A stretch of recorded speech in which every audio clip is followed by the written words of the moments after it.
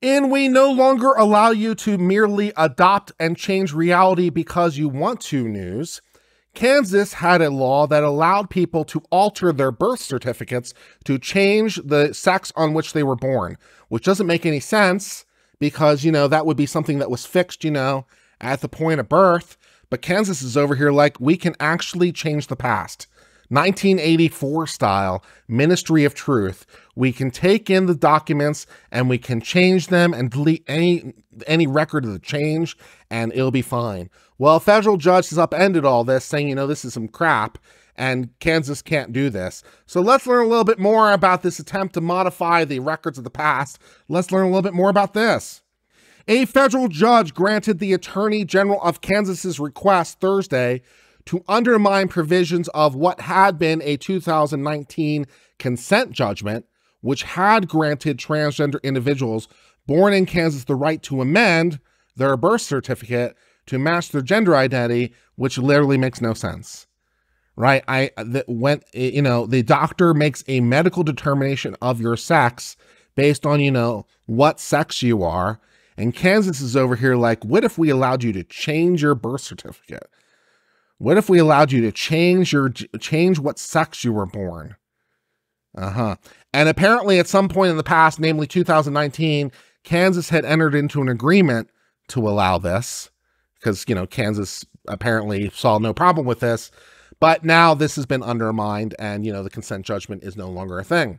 Kansas had sought the United States District Court's intervention after the Kansas legislature approved a law defining women and men by biological sex because, you know, that's what they are, and requiring state agencies to collect health data identifying people as either male or female consistent with determination at birth, which, you know, also makes sense because there are some medical differences between men and women.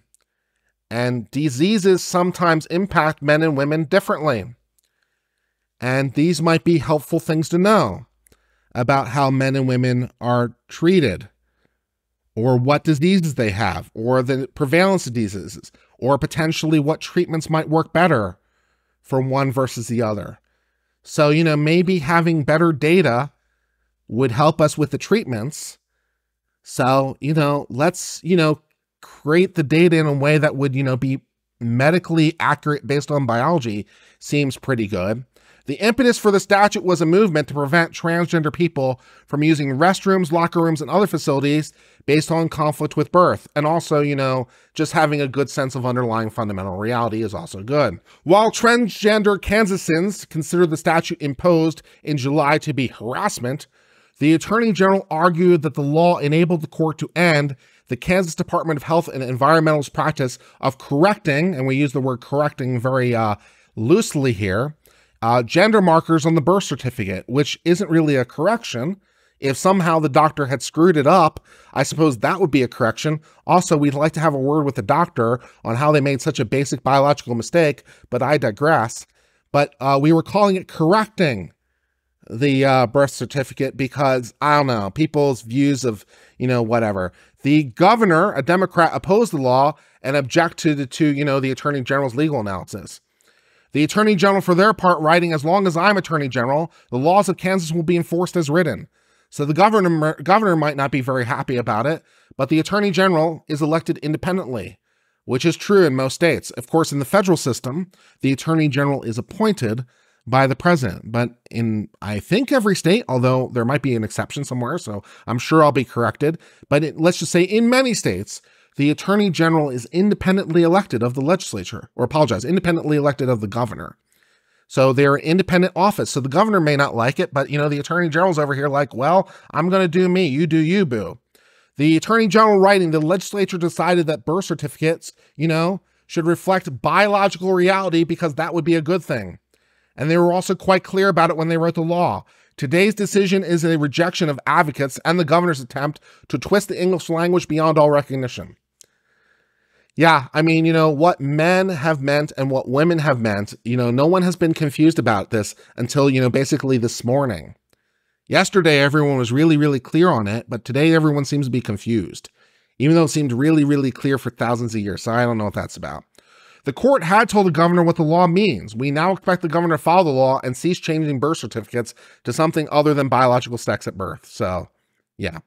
Four years ago, Lambda Legal, along with the Bryan Cave Leighton Paisner law firm, represented four transgender people who were unable to obtain birth certificates consistent with their gender identity because, you know, birth certificates reflect sex, not gender.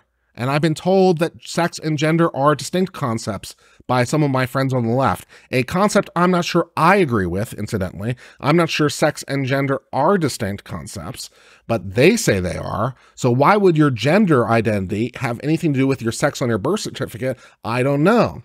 But they seem to think it does for some reason, even though they think it's also independent, which doesn't make any sense.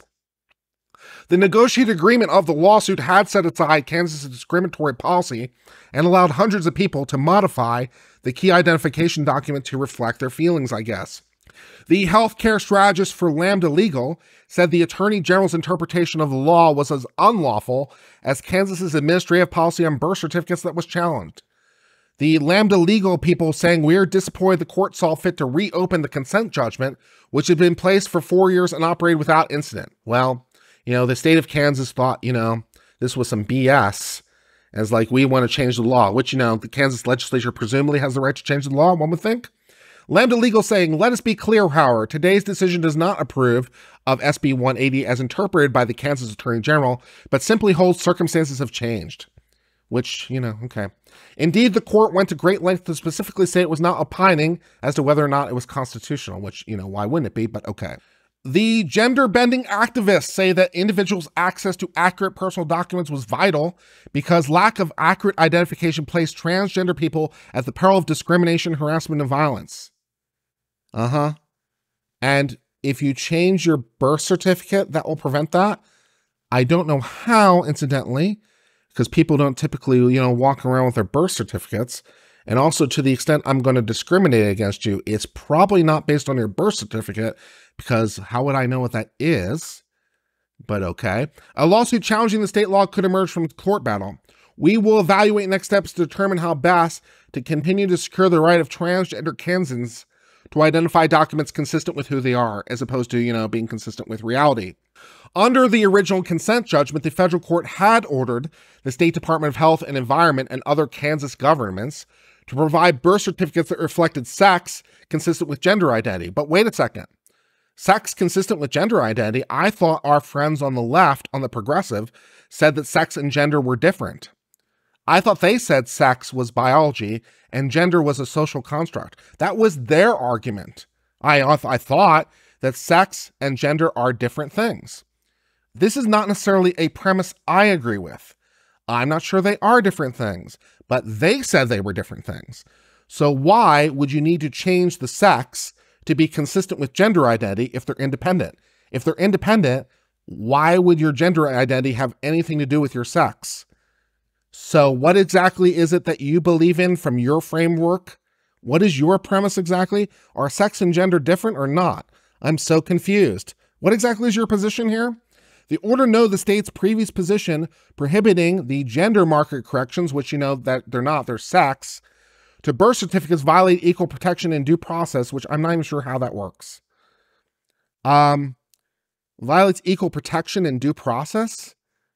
No, I'm not sure how a doctor observing that is a boy violates either equal protection or due process. But uh, apparently, some people thought it did somehow. The Republican led legislature responded earlier this year with the Senate Bill 180, the governor had vetoed the bill, but the legislature, being super pissed, overrode the governor's veto. The governor's all like, you know, I think that, you know, the gender and sex are different, and also you should be allowed to change your birth certificate for some reason. And the legislature's all over here like, nah, fam, we're not about that life. Screw you. And the attorney general's all like, yeah, screw you too. In June, there was a motion filed in federal court to nullify the consent judgment by saying the original order conflicted with the new state's law requiring the change. So the state of Kansas is like, you know, well, we're not going to, we really don't like the consent judgment anymore because we changed our law. And, you know, last I checked, the legislature can still change the law, right? We, we are, we do have the ability to change the law, right? So I, I know we gave an agreement before, but, you know, the legislature wants to change the law, and so not so much. The governor and attorneys for the original plaintiffs have argued the new law doesn't conflict with the consent judgment because state agencies could gather vital statistics in accordance with statute and also continue to issue modified birth certificates, which is really, really strange because that would allow the same person to be listed as two different sexes on different governmental documents. So, like, okay, it's not an issue because we can still collect information based on your biology as it relates to medicine, but also we're going to change your birth certificate. So, for some purposes, you're male and some purposes, you're female, I guess. All right, that's what they wanted to go with. In the wake of the Attorney General's efforts to undo the consent order, the Kansas ACLU said that they ought to rethink the sheer indecency of this attempt to weaponize the office of the Attorney General's authority to attract transgender Kansasans just trying to live their lives. The ACLU over here not having a great day. Thus, that brings us to the end of the moment for this just new change of Kansas. Kansas is like, what if men were men and women were women? And our law said that. And, you know, it said that on your birth certificate. As to your biological sex, you know, be whatever gender I guess you want, but gender and sex are independent, right? So why would you need to alter your birth certificate? Because that reflects sex, not gender. So, you know, your gender is independent, right? So what does it matter? And, you know, the logic caused the, you know, the left to disappear in a puff of logic, which also seems to happen. But for the moment, at least, Kansas is allowed to have its choices. The federal judge has upended the consent judgment. Kansas will, you know, recognize biological sex realities. And that for the moment brings us end of discussion of this case.